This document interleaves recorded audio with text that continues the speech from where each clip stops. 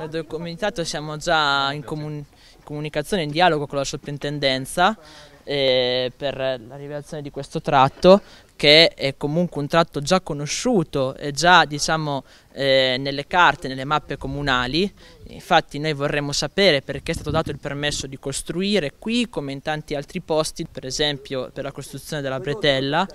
e, e vorremmo sapere come verrà preservato questo tratto perché traslarlo cosa significa? Usare delle tecniche che, che eh, comportano comunque un costo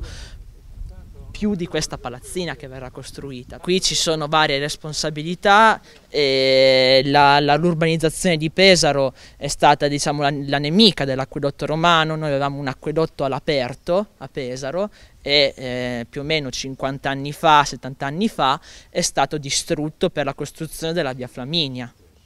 E quindi eh, noi vogliamo rompere questa tradizione, vogliamo preservare un acquedotto che ci serve da 2000 anni e che serve ancora a Pesaro, non solo quando i tedeschi hanno bombardato Pesaro e quindi era stata rimasta l'unica fonte eh, accessibile d'acqua, ma anche adesso rifornisce vari, le varie concessioni balneari e le fontane di Pesaro. Si può ripensare il progetto della palazzina per metterlo sotto una teca e per renderlo visitabile è chiaro che bisogna diciamo, far confluire gli interessi eh, del, della, della, costruzione della ditta che comunque eh, purtroppo non è stata avvisata con eh, gli interessi del, della tutela del patrimonio storico. La domanda mia è come hanno fatto nel, eh, circa nei, nel, negli anni 1970 a poter costruire tutta la, eh, la zona Loreto, Montegranaro e, e, e Muraglia praticamente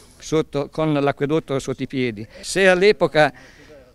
hanno cercato di preservarlo e poi ci sono i vincoli ovviamente che il PRG rispettati e non rispettati, allora perché ora non può rimanere lì? Noi teniamo molto a dire che questo tipo di manifestazioni non sono fatte per entrare in guerra o in conflitto con le istituzioni, ma al contrario per creare via via un, un dialogo con esse, per porci come consulenti, per lavorare insieme per salvare una Pesaro antica che attualmente è abbandonata e trascurata e che però presenta architetture e valori culturali assolutamente da salvare. Insieme ce la possiamo fare.